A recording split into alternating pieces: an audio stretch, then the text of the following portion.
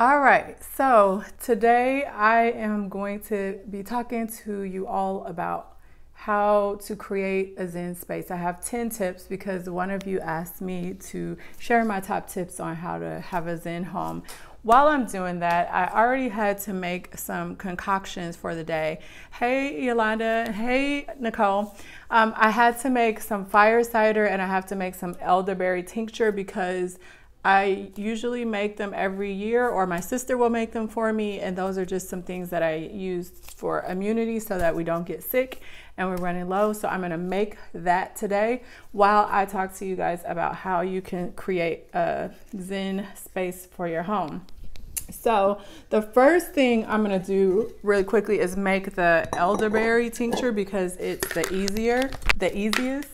And so I like to use this big jar here. I got these jars. I think there was like a set of two for $24 on Amazon. All you need to make the elderberry tincture is some dried elderberries and some vodka. So this vodka from Costco is like $12.99. You're gonna need about half the bottle of that and about a cup of the elderberries, but I'm gonna use probably about two cups of them. So anyway, the first thing that you need to do in order to create a Zen-like home is you need to understand how lighting works. Lighting is going to create the mood for your home. During the daytime, you're going to want a home that's going to have a lot of natural light. But at nighttime, you're want to understand what kind of light you prefer. Greg and I do not agree on the kind of lighting that we like for our home. I like a more white natural light and he likes um, more like yellow traditional light bulb type light. The yellow light is to give you a warmer hue. The uh, light that I kind of like, the bright lights are going to keep things bright and help, I feel like, regulate your um, circadian rhythms and also help things look the way that they should be, like natural colors. It doesn't distort colors in your home. So the first thing you need to create your Zen home is you need some good lighting. Also, while I'm doing that with the elderberry, so as you can see, I put about two cups of elderberries into the big jar. I'm also gonna add some cloves to the jar. What you wanna do when you're making your tincture is you want to put whatever spices you think are gonna be helpful for your immune system. So in this one, I'm gonna be putting cinnamon, cloves, and some nutmeg into the elderberry tincture. And then I'll show you the fire cider. It's gonna be a totally different type of a recipe. All right, so lighting. And I'm just eyeballing it. Maybe I poured about maybe a quarter of this bottle in here. You end up straining all of this once the recipe is done. So you don't need to worry about chopping things up or what it looks like or anything like that. You, when you get done, you're going to strain it through a cheesecloth in about six weeks. And when you do that, it'll just be a liquid. So put whatever you want in it. Um, cinnamon. And again, I'm just kind of eyeballing it, personal taste, but I'd say if you were gonna make this on your own, maybe you could put about, what is this, four ounces, so maybe a couple ounces. Of course, if you don't like cinnamon, don't put a lot of cinnamon. And then the nutmeg, I'm just gonna put maybe a tablespoon or two. All right, so second thing that you need to understand if you want to create a Zen like home is you have to buy things for your home that are serene. So for us, that means things that we love. That means not wasting money on things that don't have meaning or value, or just because they're on sale, we buy them, or just because we think we like them, we buy them. It's actually about buying things that create serenity. So, candles, um, and what do those candles smell like? You may want to study aromatherapy a little bit so you can understand. Maybe for your kitchen, you want a lemon candle because it's more cleansing, whereas for a bedroom, you may want like a more lavender or spa type of candle. So that's another thing that you want to consider when you are creating your home. Serene stuff. I'm trying to think of other serene things. We have a lot, we have salt lamps. So a lot of lamp lighting might be helpful for you if you're trying to create serene environments. Greg, you looking at me? Did you have an idea? I'm just pouring if I can. Oh, yeah. Okay, so. Okay. Yeah, I have all that. Oh. Okay. So the third thing that you want to do is make sure that you don't have any clutter in your home. A lot of people don't understand that even if your home is not messy, if you have a lot of clutter, it doesn't give your eye an opportunity to rest. And if your eye is not resting, then it can cause you to always be on, even though you're really not on. And so, if you have any clutter sitting out, any unnecessary things sitting at that you don't have to look at, then you may want to put that stuff away. We keep out mostly things that are things that we use every day besides our decorations. We don't have a lot of clutter sitting around. So my third tip is to not have any clutter. And I'm just gonna show you real quickly. So the vodka is in here, the elderberries, all of the spices are in here. I did add peppercorns to this. Um, hey, Reggie. Um, I added peppercorns to this and then you just give it a shake. I shake it probably once a week, and again, like it'll take about maybe six weeks, three to six weeks, but I just wait six weeks until I strain this and use it. So next up, we're gonna do the fire cider, which is also gonna help you with some things that can naturally boost your immunity. And while I do that again, let's see. Tip number four to creating a Zen environment is you need to buy what you love. A lot of people spend a lot of money on things they don't love. Maybe you settle instead of saving up for what it is that you really want. Maybe you don't go for um, quality items, you go for things that are on sale. And so you get things that you don't love a lot all of those are things that can impact the serenity and the zen of your home. And so, if I would say one thing, buy what you love. Greg and I have noticed that we both used to buy a lot of stuff that we didn't need. And so we will often bounce ideas off of each other that maybe just because something is cute, it doesn't mean that it has a place in our home. So if we don't love it, we are learning to not be tied to those type of things. So that is the fourth tip. While I move on to the fifth tip, I'm going to move on to the fire cider. So, fire cider is something that can be used to boost your immunity, especially through um, seasons where respiratory infections are more prominent, which is usually around the winter months. However, with all the stuff that we have, have going on, it's probably going to be okay to take year round. You also can use it on um, salads, like a salad dressing. It kind of has a little tangy salad dressing taste, so you can do that. I'm gonna be putting in two oranges, two lemons, some ginger root, a ton of garlic. For ginger root, I'm gonna be using three ounces of ginger root and cutting it up. You don't, you, all this stuff you only have to coarsely chop because at the end of six weeks, you're also gonna strain this as well. So the ginger root is three ounces. The garlic is three ounces, which was about three heads of garlic. Then there's three jalapenos, fresh parsley, thyme. What else do I have here? Rosemary and onion. Also, spices. There will be peppercorns in this recipe as well. Turmeric, cayenne pepper. And then at the end, once you've chopped everything up, you're going to pour apple cider vinegar all over it. Okay, I feel like we're all over the place, but we're gonna keep going. So I'm about to chop up the um, oranges while I tell you tip number five is color psychology. You have to look around the rooms in your home or your home as a whole and understand how you want your home to feel when you walk into your home and when other people walk into your home as well. And part of that is the colors that you use in your home. You will only know what that's going to be for you. Like, for instance, you may want your bedroom to be calming and serene, and so you may do some blues, some grays, some colors like that. Or you may like to feel like when you walk in your home, you want it to have this feeling of giving you a hug. And if that's the case, then you're going to want to do some earth tones, some warm tones, etc. Um, again, for me, I tend to like more cooler tones. So you're gonna see me do light grays. Like we have to paint this room here. You can kind of see here, this brown was the brown that came with the home.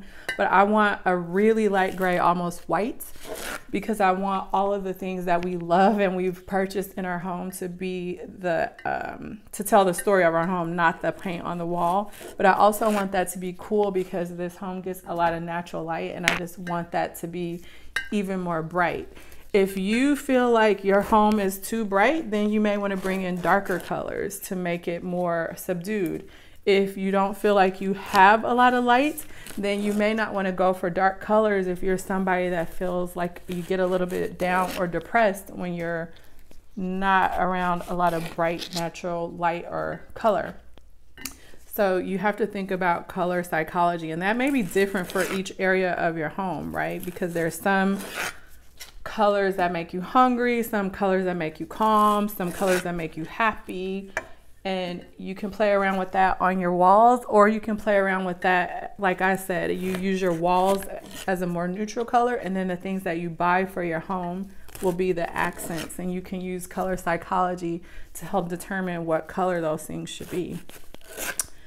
So, that is my next tip for how to create a Zen home and I'll make sure I list these as well because I know there's a lot going on. So I already chopped up the oranges. I'm gonna do the lemons. By the way, all this stuff is washed off. Make sure you wash off your produce. All right, so two lemons. Next up, Greg had mentioned this as well. We have a lot of nature in our house. So we mix glam, we mix fabrics. We have like linen fabrics, we have fake fur fabrics. But we also have pieces of nature in our home. We have a lot of wood in our home. We have reclaimed wood in our home. Greg made a wine rack once out of driftwood, so we have recycled things in our home.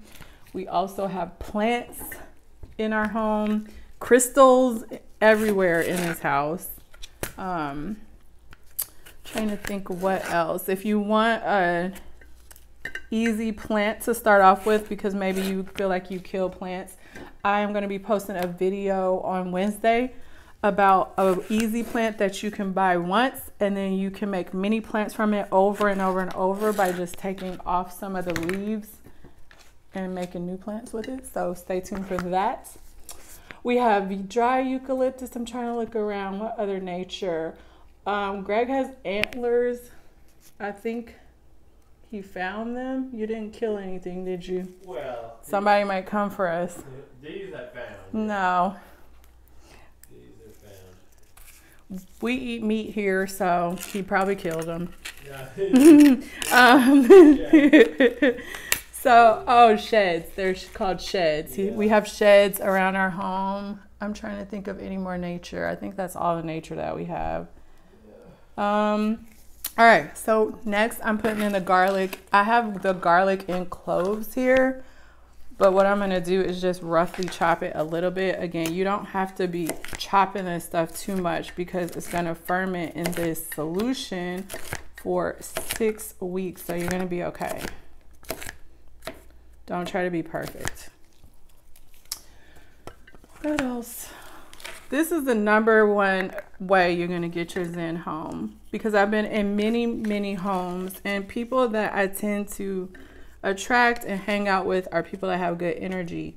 And all of them have phenomenal homes in their own right, but it's 99% of the time because they have good energy. So you can buy all the fabrics, the candles, the crystals, you can get all the plants but if the energy in your home is not zen because the people that live in the home are not zen, then you're going to have an issue there. So work on yourself and if you have a choice on who you let in your home, who's living in your home, then also work on fostering relationships with people that are working on themselves. They have good mindset. They don't have drama all that type of stuff because at the end of the day, again, that is what is going to primarily make your home feel zen, feel peaceful, feel relaxed. Greg and I are both peaceful, quiet people. We don't have a lot of drama. We don't do that kind of stuff very well. And so that's primarily why when you walk in our house, you can feel the energy of our house. We don't need to go around saging stuff because it's just not a lot of negativity. We have good boundaries around the people that we allow in our house and in our home. And that's primarily what's going to give you the type of vibes that you want if you're trying to create a home that feels good and feels peaceful and feels like a sanctuary for you to come home to at the end of the day. So I'm just throwing in this rosemary, just kind of coarsely chopped. Um, all right, what tip are we on? I think we're on number seven for how to create a zen-like home. That it has to do with quality.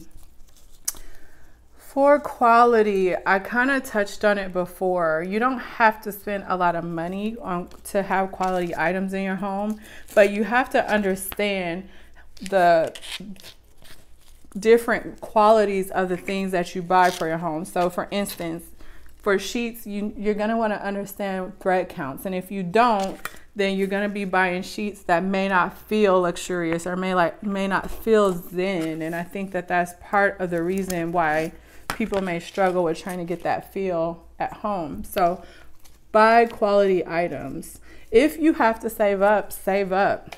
There are times when I have had to go without and I would have, and I'm glad that I went without instead of just buying any, any cheap old thing. Um, number one, you end up saving more money in the long run. Number two, you get what you really love. And number three, because you saved up and you feel good and it's the thing that you really wanted in the first place, it creates a positive energy in your home. So make sure that you are purchasing quality items. Um, let's see. The eighth tip is do highs and lows. So, in the same token, while I'm talking about spending money or buying quality items and knowing what quality means, that means even quality pots and pans. That means studying who um, makes the best knives. And if you have to save up to buy those type of things, then you're not wasting money on a knife set because it was a hundred bucks. You might only be able to afford one knife that's a hundred bucks, but it's a nice quality knife that'll last you the rest of your life. However, there are things in your home that aren't going to matter so much. And on those things, don't spend all your money on them. So um, I feel like a couch a mattress, a bed, things like that are things that you spend money on. But things that you maybe don't want to spend a lot of money on are candles, um, pillows. What else would you know? I don't think you need to spend a lot of money on plants. Um, let me look. I'm just looking around. Certain like towels. Like I think maybe your bath towel towels can be quality, but maybe like your kitchen towels don't have to be that much. What else? You furniture. Yeah, you can repurpose furniture. Can you give us an example? Uh, paint. Oh, like painting it? Yeah. Table. Yeah, that is a good idea because maybe you are on a budget and you don't have the money to go out and spend for a nice quality, let's say, for instance, wooden piece of furniture. But maybe you can go to a secondhand store, find that a similar look, but you may just have to do some alterations or paint it or whatever in order for it to, you know, match the style of what you're looking for. Let's see. And then I just have one more. I already talked about crystals. I was saying that we have a lot of spiritual items in our home. We're very spiritual in a different way. Um, like we have Bibles around our home. I already talked about the crystals, tarot cards, what else? We have incense that we burn regularly. We have diffusers with aromatherapy. Again, all these are going to help you set the mood to, for your home based on the scents that you choose. So make sure you study what the feel is that you want for a certain room in your home and then make sure that the scents of your candles and things correspond to what it is that you're trying to create. Trying to see if I left anything out. I don't think that I did. Greg, do you do you think I left anything out? No. No, we have stuff that from people that we love. So we have bulletin boards with people's pictures. We have Greg's dad's aunt in here. We have paintings that our nieces and nephews have given us. So we make sure to infuse that more natural creativity. Greg has art around the house. Like all of those things put our personal touch on the house again bringing in the positive energy of not only ourselves but the people that we choose to be around us that love us and that we love because they're good people and subconsciously that energy feeds into the positivity of our home Maybe if you like listen to music, something. Oh music. Music creates a zen home. That's a good one greg. So for music though again try to buy the best quality that you can buy. If you're listening to music on a crappy speaker then you're probably not going to enjoy it and it's not going to make you feel as luxurious as if you maybe splurged a little bit not spending a lot of money but maybe looking for quality. What what is the best quality that you can buy and investing in that way?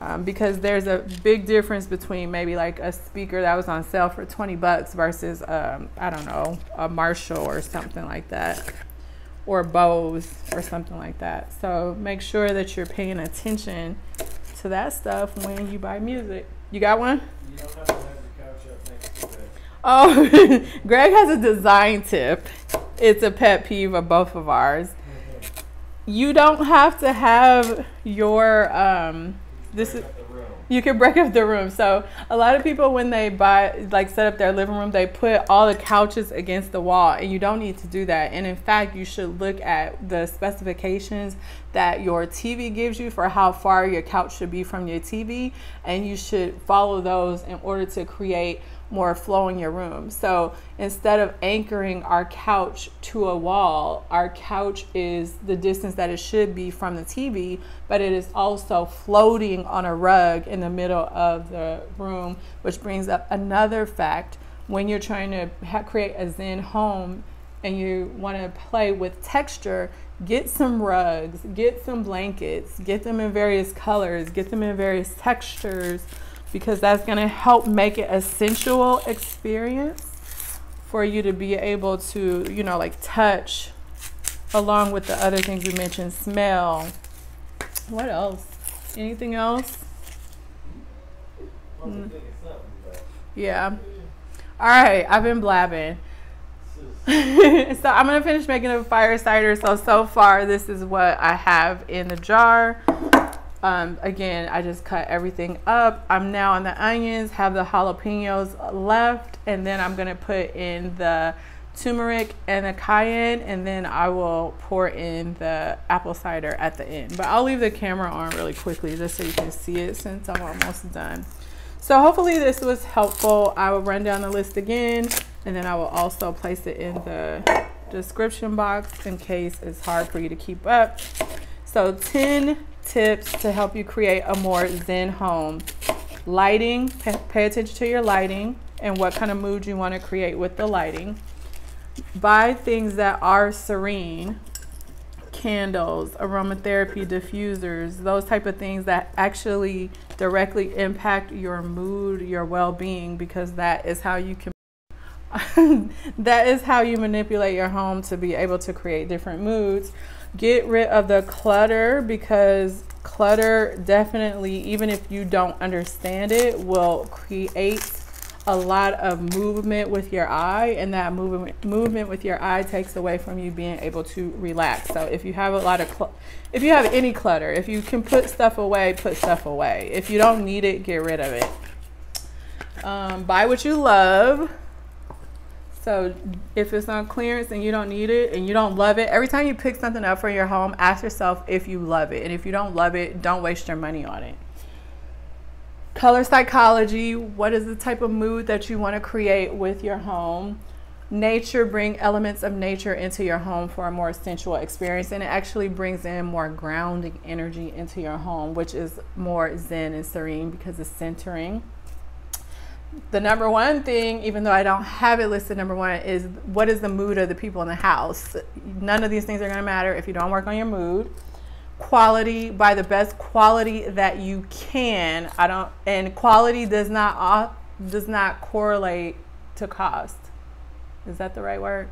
Quality and cost don't have to be um, related. However, you need to understand what quality means in pots, and pens, and knives, and sheets, and towels, and try to buy the best quality you can from that space.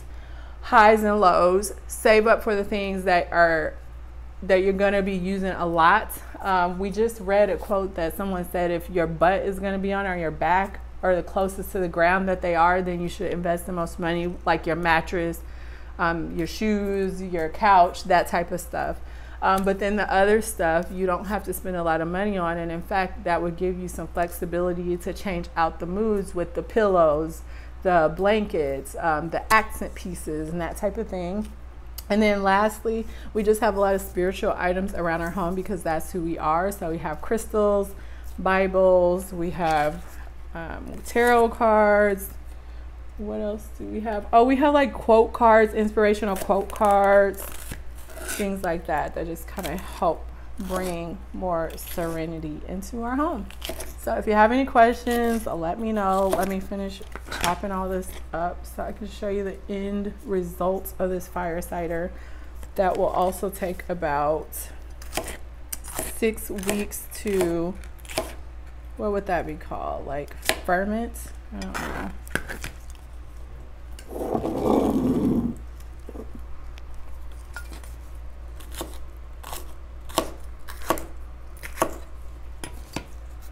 I'm not even taking the seeds out of the jalapenos.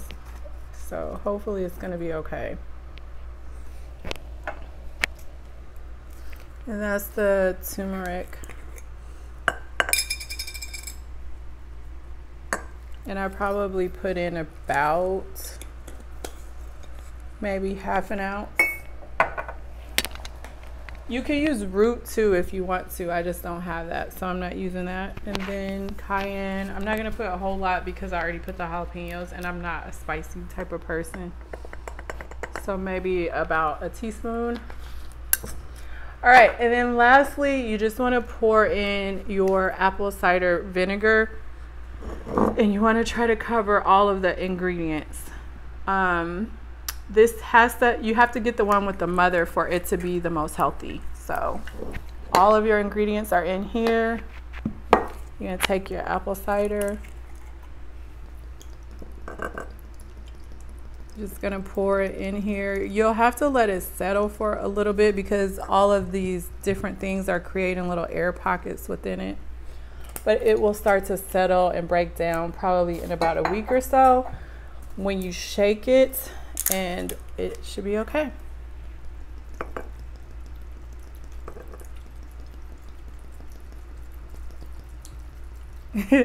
um, I'm actually I'm making um, fire cider. I just made some elderberry tincture in the beginning of the video, and now I'm making the finish, putting the finishing touches on the fire cider and you probably already know, but they're both for immunity. And either I make it every year or my sister makes it for me, but I've run out or I'm going to be running out soon. And this takes about six weeks to like sit and ferment. And so I'm making some more. All right. So the apple cider is all in here now. And then all you have to do is put the jar on it.